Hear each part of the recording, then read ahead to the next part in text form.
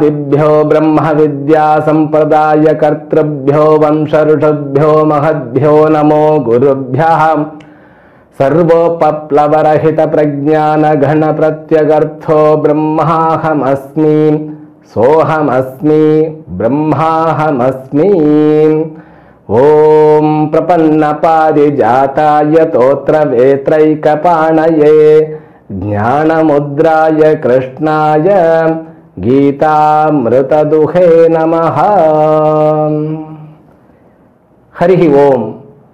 My best wishes and परपूर्ण आशीर्वाद to all the viewers of Shri Venkateswara Bhakti channel may the almighty Shri lord Venkateswara बिस्टू all kinds of prosperity health wealth and eternal happiness with परिपूर्ण लक्ष्मी कटाक्ष to you and entire your family members and friends let us begin Bhagavad Gita words number eleven of tenth chapter श्रीभगवानुवाच तेषामेवानुकं पार्थम् अहमज्ञानजं तमः नाशयाम्यात्मभावस्थः ज्ञानदीपेन भास्वत Bhagavan Krishna is explaining what is virat bhakti and who is Virat भक्त and the benefit of it. From verse number 8 up to 12. He explained the bhakta, the devotee who has got a second level of understanding is known as Virat Bhakta.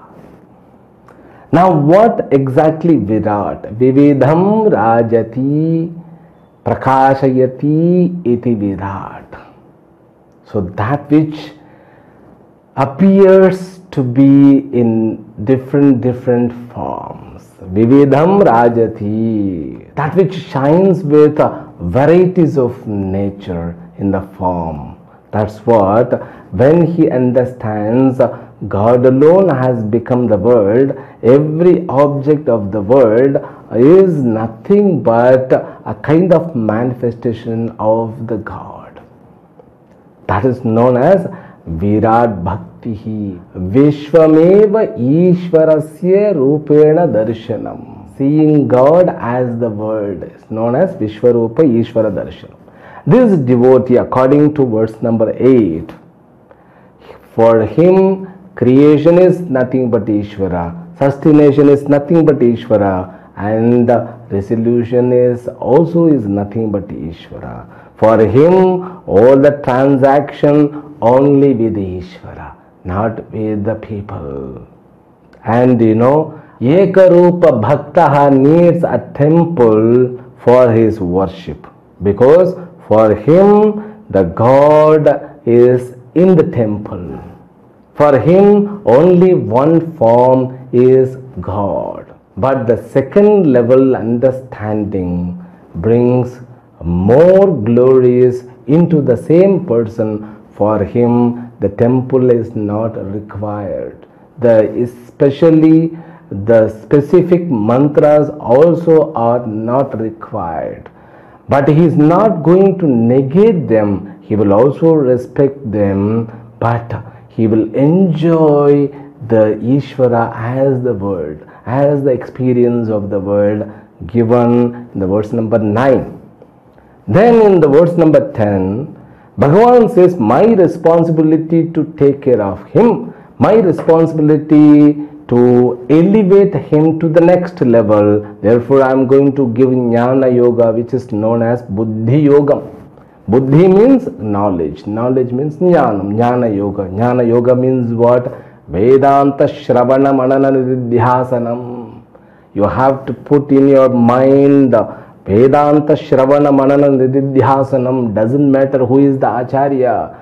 Just the Acharya who is coming under the lineage. It may be Ramanuja, Adishankara, Madhva. But they differ in their teaching, but God doesn't differ. God is only one. That only one means what? Which doesn't have form. Just you should set the devotion. That devotion does the matter, not a personality which gives a kind of influence to you. that influence in the beginning level. A guru also can help up to certain level, but the Ishvara, the God which is sitting in guru will light the lamp, the lamp which is here in you. That's what he says. So once you become Virat Bhakta, then that is my duty to elevate you to become Arupa Ishvara Bhakta, Nirguna Ishvara Bhakta, or Advaita Bhakta. That's what he brings in these words. Tesham to those people who has got Virat Bhakti. Why Bhagavan says again and again because very rare. Very rare. You can accept only one form that is okay. But you cannot accept all the form of Ishvara. Because your mind won't allow it. Because mind is categorized by the limitation. And it is always deluded by the emotions. If you started loving Lord Krishna, you cannot love other God. The emotions, mind will struggle to set the emotions. Therefore, I have seen many people who go to Lord Vishnu's temple won't go to Lord Shiva's temple. Certain people I have seen who go to Lord Shiva's temple, they don't go to Vishnu's temple. And who worships the Sakta Upasakas, they don't worship any other god. For them, the Shakti becomes uh, everything. So, like uh, every mother, they have their own prejudice. That word is very big word, but there are some people are endowed with this kind of very limited. I'm not saying narrow-minded. No, limited. Their devotion is very respectable because they could set the devotion with the god means uh, is a thousand times better than the people who doesn't have the devotion okay that he is not able to love other gods doesn't matter let him continue his life the god will do the job you need not worry about them the god see the god on which on whom he has set the devotion यो यो याम याम तनुम भक्ता श्रद्धयाच्युतमिच्छति तस्य तस्याचलाम श्रद्धाम Thamev yaham. Bhagavan has given the assurance. So, whoever the God is respected by that particular person, through that God alone, the maturity will be increased. That is the assurance. Therefore, if you have the devotion to any one God, my God, that is mind blowing. That is marvelous. That is, uh, you know, a spectacular thing. Your life is settled. It's a beautiful life afterwards without devotion. That life is considered as the life of animals. That's what even our forefathers have conveyed to us we have missed a lot. We are not able to see the devotion among the people because people have become grossified minded. What I am saying, grossified minded, because they are dependent on the equipments nowadays.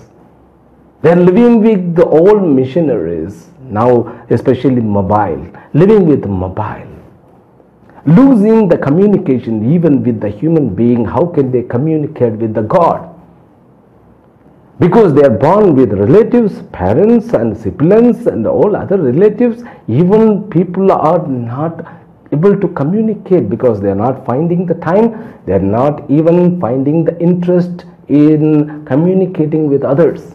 Is it a growth? It's not growth. It cannot be growth. Because when you uh, enter into the mobile mobile explores a different kinds of world that world is very far from the real world. Even real world is being condemned by the bhagavad gita. What about the mobile world? Mobile world means everything chaya matram. Do you know chaya means what? Shadow. Nothing but shadow. Everything is shadow.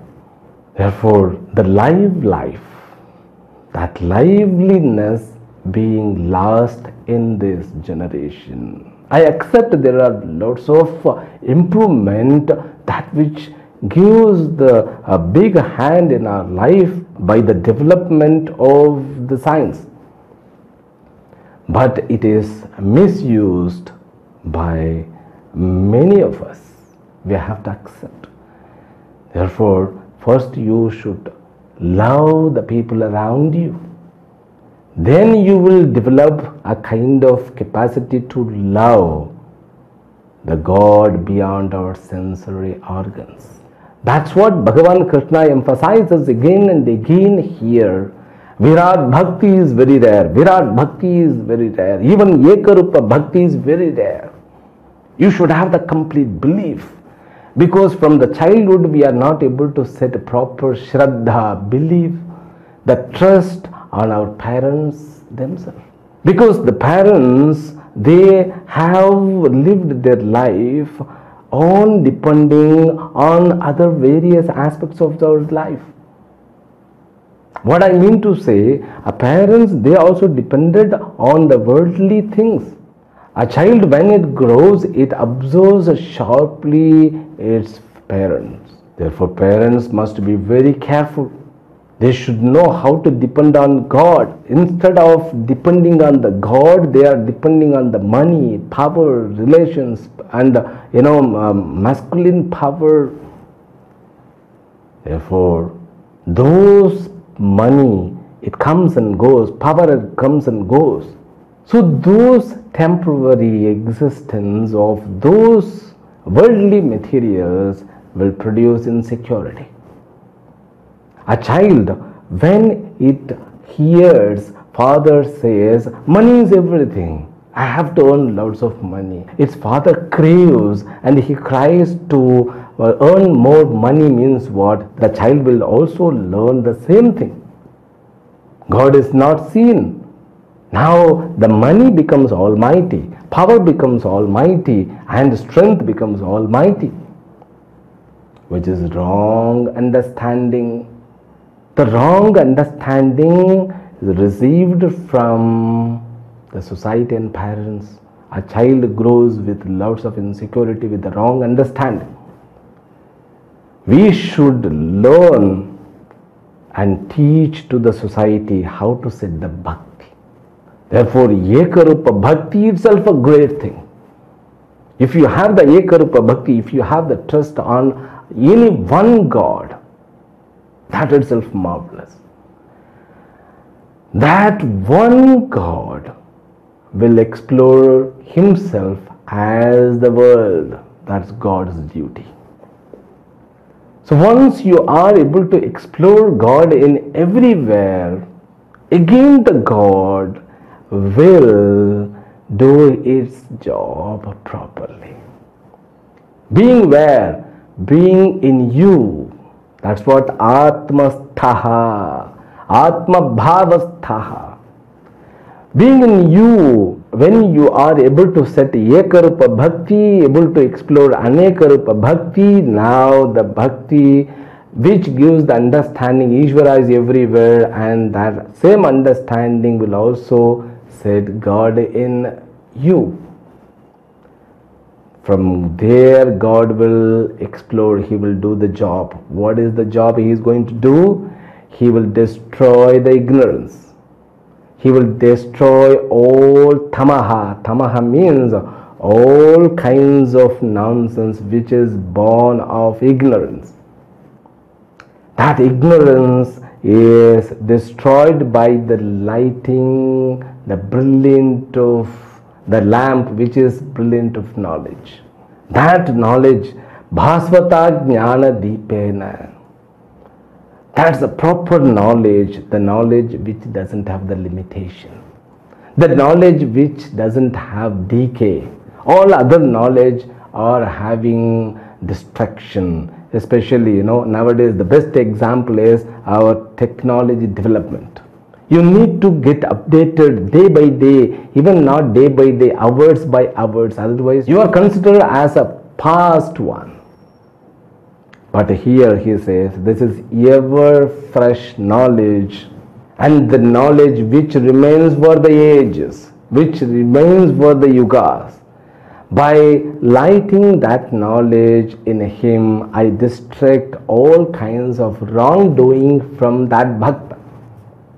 In order to elevate what? In order to elevate him to be a final bhakta, that is known as Jnani Bhakta. Because I have lots of compassion towards those bhaktas. That's what the message from verse number 11. Then we will go to verse number 12. Arjuna uvacha param brahma param dhama paramam bhavan purusham shashvatam divyam आदिदेवमजं विभुम् आहुस्त्वा मृषयः सर्वे देवर्षिर्नारदस्तथा असितो देवलो व्यासः स्वयं चैव ब्रवीषि मे Now he is able to connect with the words of rishis. Because when you were born in India, you might have heard again and again Atma, Moksham, Dharmaha, Punyaha, Papaha, Karma Phalaha, all those words. Have you not heard? Yes, of course, we have heard lots of time, but we are not able to set a proper meaning.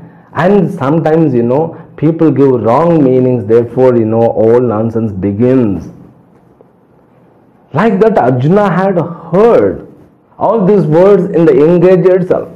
Those words are coming in his mind now. Param Brahma, Param Dhama, Pavitram, Paramam, Purusham, Shashvatam, Adidevam, Divyam, Vibhum. All these words are just popping in his mind.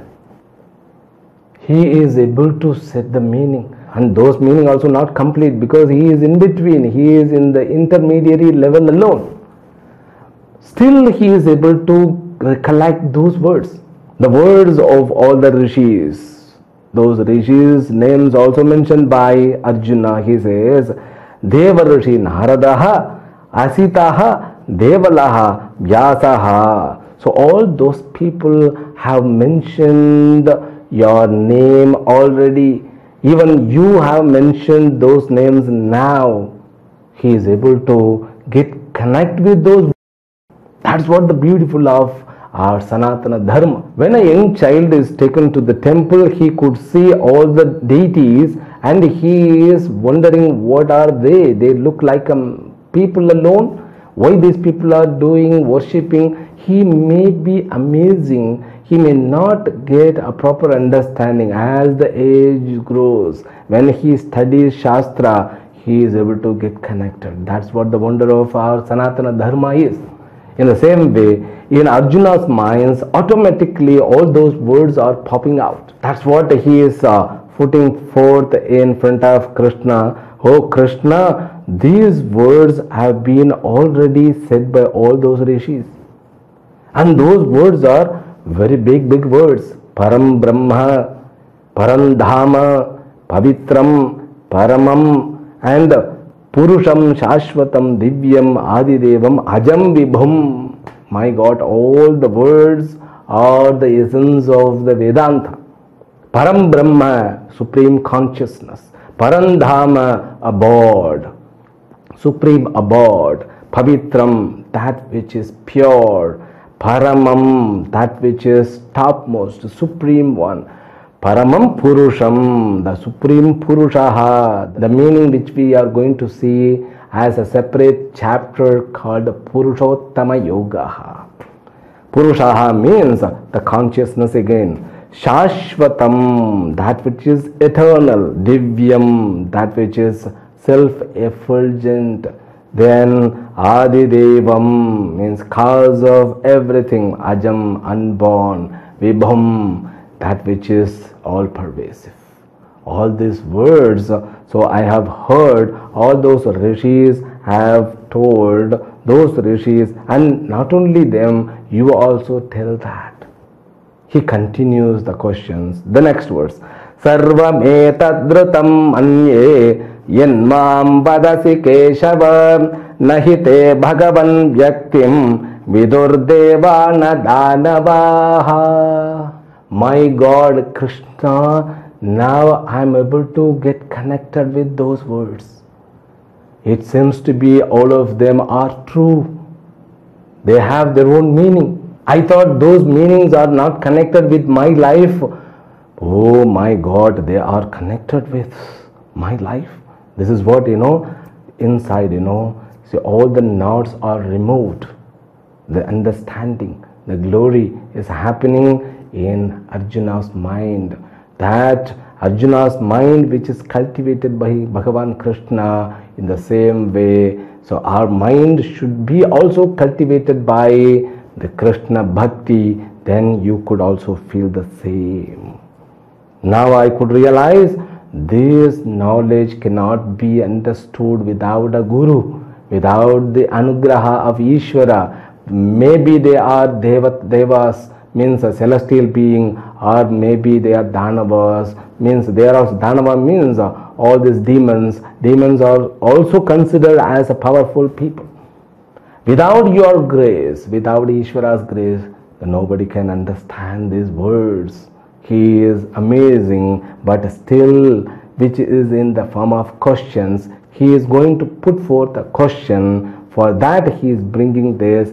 That we will continue from the next class, means from tomorrow. Harihi Om. Om Shri Guru Bhyo Namo Namaha. ॐ पूर्णमदः पूर्णमिदं पूर्णात् पूर्णमुदच्यते पूर्णस्य पूर्णमादाय पूर्णमेवावशिष्यते। ॐ शान्तिः शान्तिः शान्तिः। हरिः ॐ श्रीगुरुभ्यो नमः। हरिः ॐ